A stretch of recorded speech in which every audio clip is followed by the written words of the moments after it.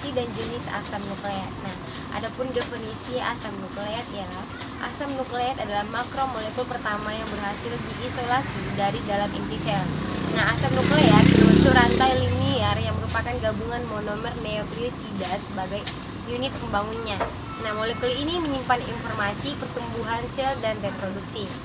Asam nukleat merupakan polimer besar dengan ukuran yang bervariasi antara 25.000, 1 juta bahkan 1 miliar. Nah, asam nukleat baik DNA maupun RNA tersusun dari monomer nukleotida.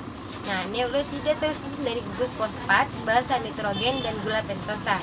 Basa nitrogen berasal dari kelompok purin dan pirimidin. Nah, purin utama asam nukleat adalah adenin dan guanin. Sedangkan pirimidinnya adalah sitosin, timin, dan urasil. Nah, monomer nukleotida sebagai struktur primer asam nukleat diperoleh dari hasil hidrolisis asam nukleat. Proses hidrolisis lebih lanjut dari monomer nukleotida akan dihasilkan asam fosfat dan nukleosida. Nah, proses hidrolisis ini dilakukan dalam suasana basah. Jika hidrolisis dilanjutkan kembali terhadap senyawa nukleosida dalam larutan asam berair akan dihasilkan molekul gula dan basa nitrogen dengan bentuk heteroksiklik. Nah, sehingga komposisi molekul penyusun asam nukleat diketahui dengan jelas. Nah, masuk pada jenis asam nukleat. Adapun jenis asam nukleat ialah yang pertama ada asam deoksiribonukleat. Nah, asam deoksiribonukleat ini merupakan asam nukleat yang berisi instruksi genetik yang digunakan dalam pengembangan dan fungsi dari semua organisme hidup dikenal. Nah, peran utamanya dari molekul DNA adalah penyimpanan jangka panjang informasi DNA yang sering dibandingkan dengan suatu set cetak biru. Nah, karena berisi petunjuk yang dibutuhkan untuk membangun komponen lain sel seperti protein dan molekul RNA. Nah, segmen DNA yang membawa informasi genetik ini disebut gen. Tetapi urutan DNA lain memiliki tujuan struktural atau terlibat dalam mengatur penggunaan informasi ini genetik. Nah, adapun ciri-ciri dari asam deoksiribonukleat ini yang pertama ada makromolekulnya dengan MR yang sangat besar terdiri dari mononukleotida utama.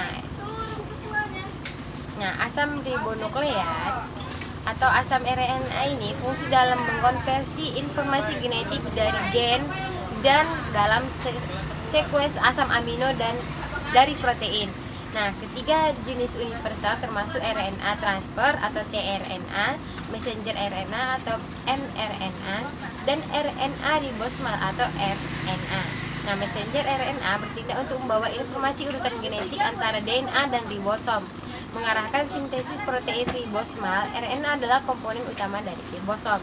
Dan mengatalisis pembentukan adalah komponen utama dari ribosom dan mengatalisis pembentukan ikatan peptida transfer RNA berfungsi sebagai molekul pembawa untuk asam amino yang akan digunakan dalam sintesis protein.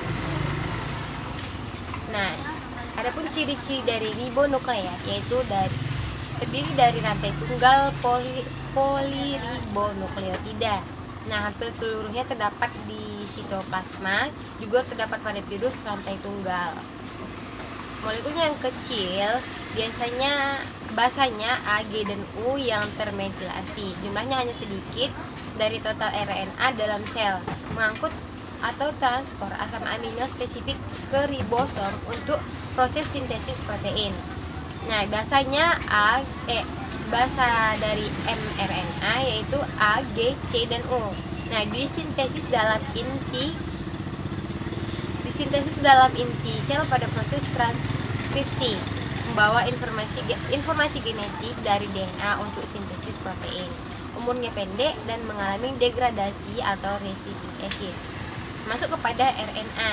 Nah, bagian terbanyak dari RNA dalam sel adalah sebanyak 80%, merupakan 60% dari berat ribosom. Nah, bahasa utamanya yaitu A, G, C, U. Nah, fungsinya belum jelas. Nah, masuk kepada uh, macam-macam asam nukleat. Nah, macam-macam asam nukleat ini ada asam deoksiribonukleat DNA tadi. Yang kedua ada asam ribonukleat atau RNA. Nah, DNA merupakan molekul raksasa yang terdapat di dalam nukleus atau inti sel dengan massa molekul relatif atau NR berkisar dari 6 juta gen dari suatu organisme yang mengandung sandi genetik. Nah, untuk urutan protein. Nah, artinya ia mengandung suatu informasi untuk deretan rantai asam amino protein. Nah, mungkin segitu saja dari definisi dan jenis asam nukleat. Lebih kurangnya saya mohon, maaf. Wabillahi taufiq wal hidayah. Wassalamualaikum warahmatullahi wabarakatuh.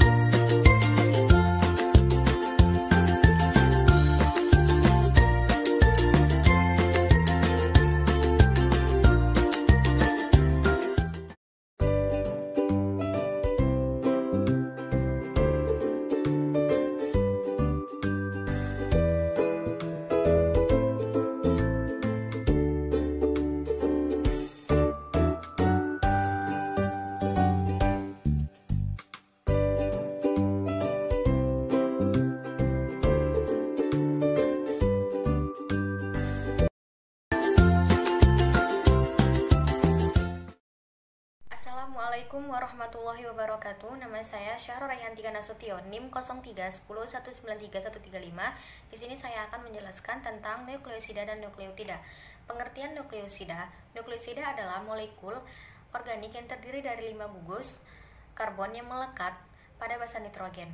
Basa nitrogen tergantung pada jenis nukleosida yang akan dikembangkan Jenis bahasa nitrogen yang paling umum digunakan sebagai penyusun nukleosida adalah adenin, guanin, sitosin, timin, dan lain-lain. Nukleosida dapat dibuat menjadi nukleotida dengan hanya menempelkan satu atau lebih gugus fosfat ke dalamnya. Analog nukleosida sangat penting dan terkenal terkait penggunaannya dengan obat-obatan. Mereka bekerja sebagai anti kanker dan antivirus. Sedangkan nukleotida adalah molekul organik yang dianggap sebagai unit fungsional RNA dan DNA yang paling sederhana. Mereka adalah penyusun RNA dan DNA. Nukleotida terdiri dari lima gula karbon yang melekat pada basa nitrogen dan gugus fosfat. Setidaknya kehadiran gugus fosfat tunggal diperlukan untuk membuat nukleosi, nukleotida dan nukleosida. Nukleosida dapat diubah menjadi nukleotida dengan hanya menambahkan gugus fosfat ke nukleosida. Pada, pada molekul nukleotida terdiri atas nukleosida yang mengikat asam fosfat. Molekul nukleosida terdiri atas pentosa atau deoksiribosa atau ribose yang mengikat suatu basa purin atau primidin. Jadi apabila suatu nukleoprotein dihidrolisis sempurna akan dihasilkan protein asam fosfat, pentosa, dan basa purin atau primidin. Pentosa yang berasal dari DNA ialah deoksiribosa dan yang berasal dari RNA ialah ribose. Adapun basa purin atau basa primidin yang berasal dari DNA ialah adenin, sitosin, dan timin. Dari RNA akan diperoleh adenin, guanin, sitosin, dan urasil. Urasil terdapat dalam dua bentuk yaitu keto, laktam, dan bentuk enol atau laktim. Pada pH cairan tubuh, terutama urasil terdapat dalam bentuk keto. Nukleosida terbentuk dari basa purin atau primidin dengan ribose atau deoksiribosa. Basa purin atau primidin terikat terikat pada pentosa oleh ikatan glikosidik yaitu pada atom nomor 1.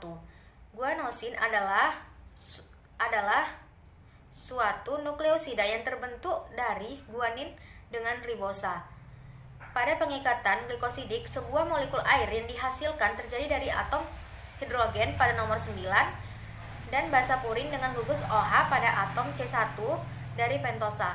Untuk basa primidin, gugus OH pada C1 berikatan dengan atom H pada atom N1.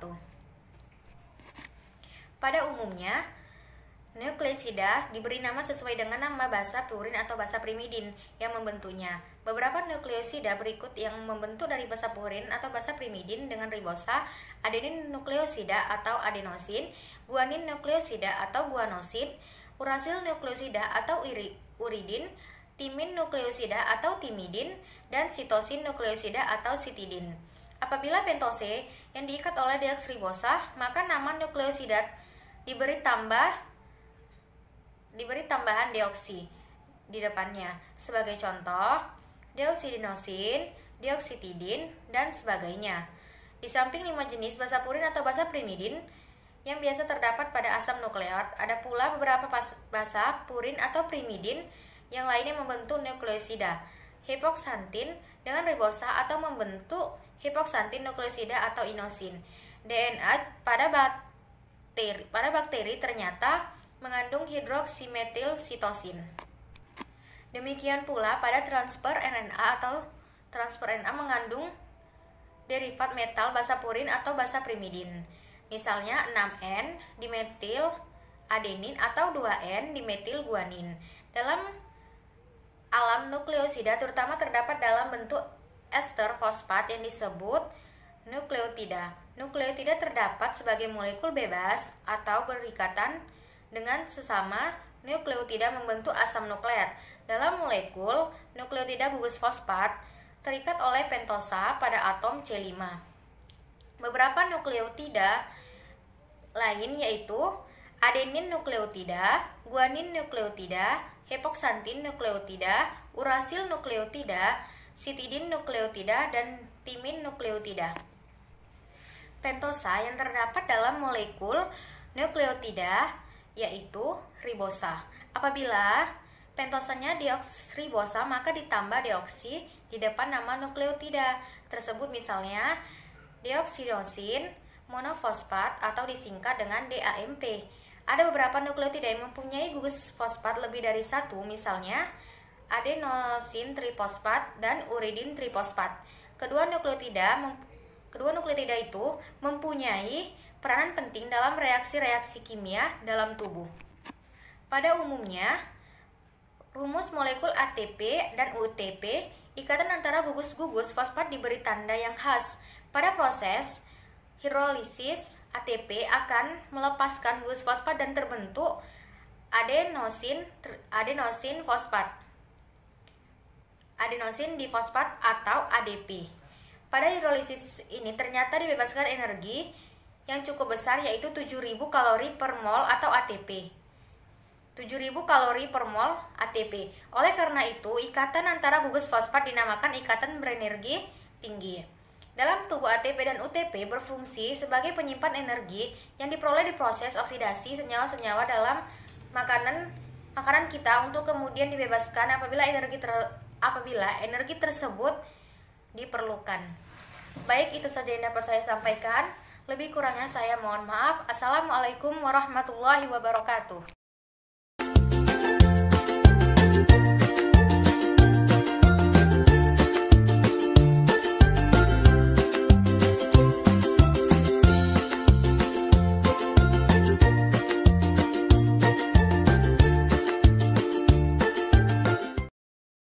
Baiklah, kali ini saya akan menjelaskan mengenai sintesis protein. Pada bagian ini, kita akan mempelajari tahapan-tahapan dalam sintesis protein. Sintesis protein dari DNA.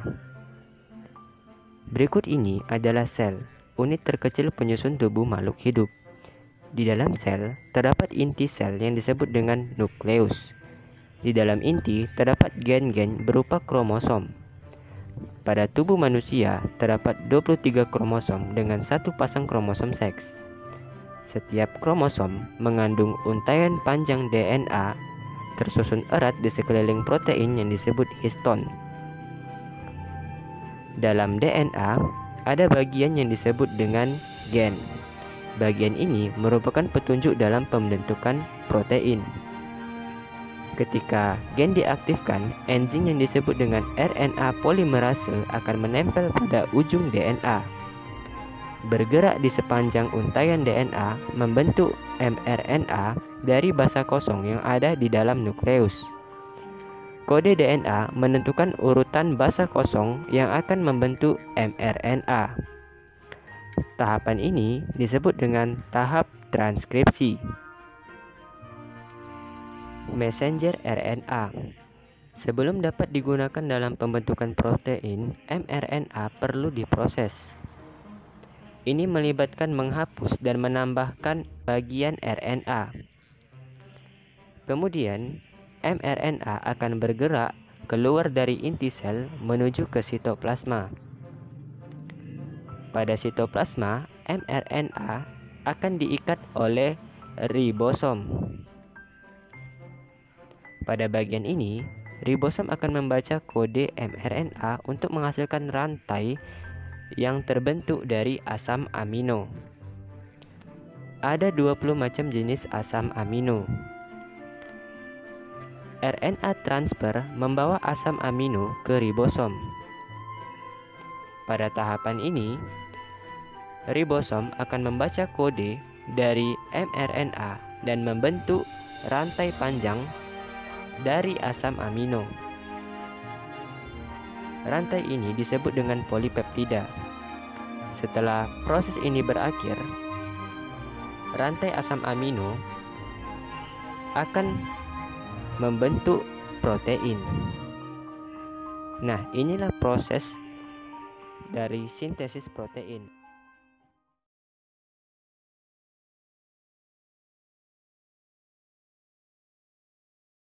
Assalamualaikum warahmatullahi wabarakatuh. Perkenalkan nama saya Nurul Faswanda, NIM 0310193131. Baiklah, di sini saya akan menjelaskan tentang peranan DNA dan RNA dalam sintesis protein. Kromosom dapat menurunkan sifat pada generasi berikutnya.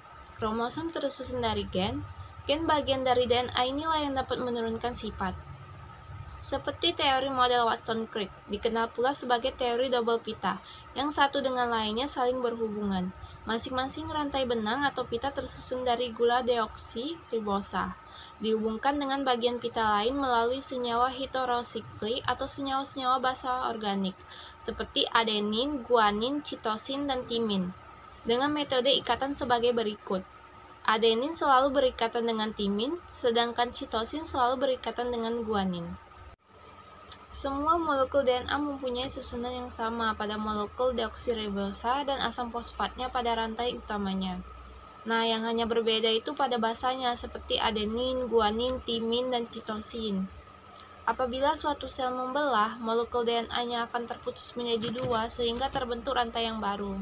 Nah, selama pembelahan sel akan terbentuk molekul DNA yang baru yang sama susunannya dengan molekul selnya. Akan tetapi, apabila molekul DNA mensintesis RNA, maka akan terputus dan hanya sebagian benang saja yang berperan, terutama pada bagian yang tidak melipat sebagai DNA. Nah, sedangkan benang yang lainnya berfungsi sebagai tempat untuk pembentukan RNA dengan bantuan enzim RNA poli polimerase.